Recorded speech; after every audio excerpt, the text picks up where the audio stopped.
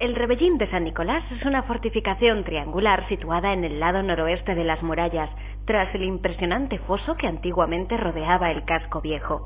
Cumplía la misión de dividir al enemigo y proteger la fortaleza de la ciudad. Conserva la puerta de San Nicolás del siglo XVI y restos del puente levadizo.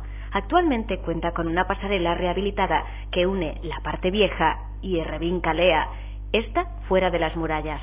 También aquí se encuentran los escasos vestigios del baluarte de Leiva, también conocido como el baluarte de los inocentes.